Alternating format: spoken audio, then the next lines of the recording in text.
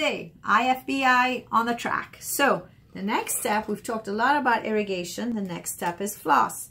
In the olden days, olden days, we used the floss, the old-fashioned floss that you wrap around your fingers.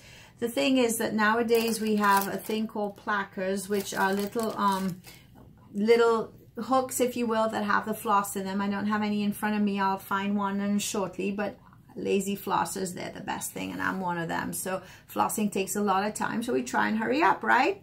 Okay, we've got lots of better things to do with our time. So I am going to demonstrate how to floss. This is something that, believe it or not, even adults don't know, and I don't know why they're not taut in dental offices, but I am going to teach you the secrets to flossing.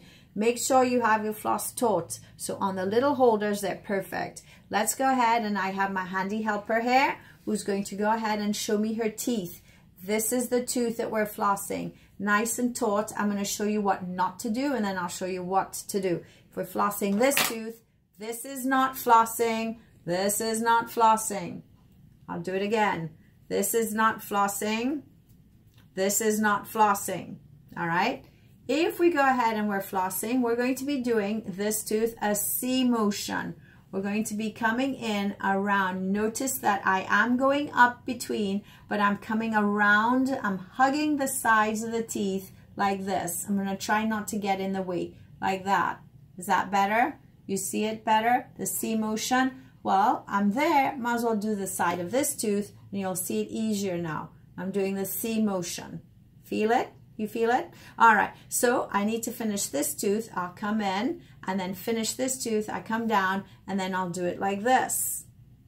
Feel the difference? All right, I've finished this tooth, but I'm there, so I'll do this tooth now. Always do the one that's next to it.